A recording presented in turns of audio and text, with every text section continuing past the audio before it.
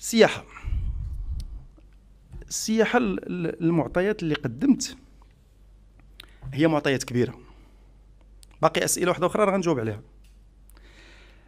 السياحة القضايا اللي اللي, اللي الأرقام اللي تكلمت عليها كتبين بأن هذا القطاع هذا هو قطاع مهم ويساهم مساهمة كبيرة في الناتج الداخلي الخام في العائدة السفر يساهم في خلق رواج اقتصادي في البلد يبين بأنه بلادنا هو بالفعل هي وجهة سياحية متميزة. عدد كبير من السياح جاو هذا شيء إيجابي. عندنا في شهر يوليوز وغشت 4.4 أنا تكلمت عليها نعاود نذكر بها. الزيادة ديال 21% بلغت العائدات 59.4 من يناير حتى الجويي. ارتفاع ديال 3.5 جوج المليار ديال الدرهم. لكن يجب أن نعترف بأن هذا الشيء هذا تيرجع بالأساس للرؤيه والاستراتيجية اللي وضعتها الحكومة في واحد الوقت اللي ربما كان الحديث على السياسة على السياحة بحال إلا ماشيينش في بلاصتو. ماشيينش في بلاصتو. لذلك هاد الإجراءات وهاد وهاد وهاد الرؤية اللي اللي وضعت الحكومة وخاصة في شقها المرتبط بالتطورات اللي عرفها النقل الجوي.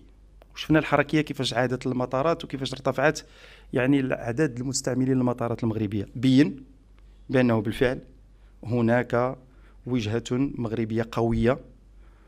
ما نسوش أيضا المجهود اللي حقه المنتخب الوطني للترويج لبلادنا المغرب. ما نسوش أيضا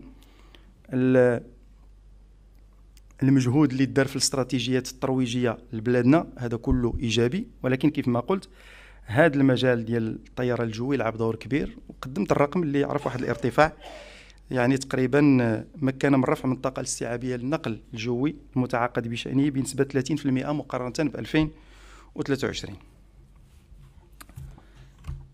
السياحة الداخلية هو موضوع مهم جدا وحيوي وهناك اهتمام بهذا الموضوع هذا لأنه بالفعل السياحه في نهاية المطاف هي سياحة داخلية وخارجية لكن السياحة الخارجية كتطلب واحد المجموعة ديال التجهيزات واحد المجموعة ديال الاستثمارات واحد المجموعة ديال الإمكانيات.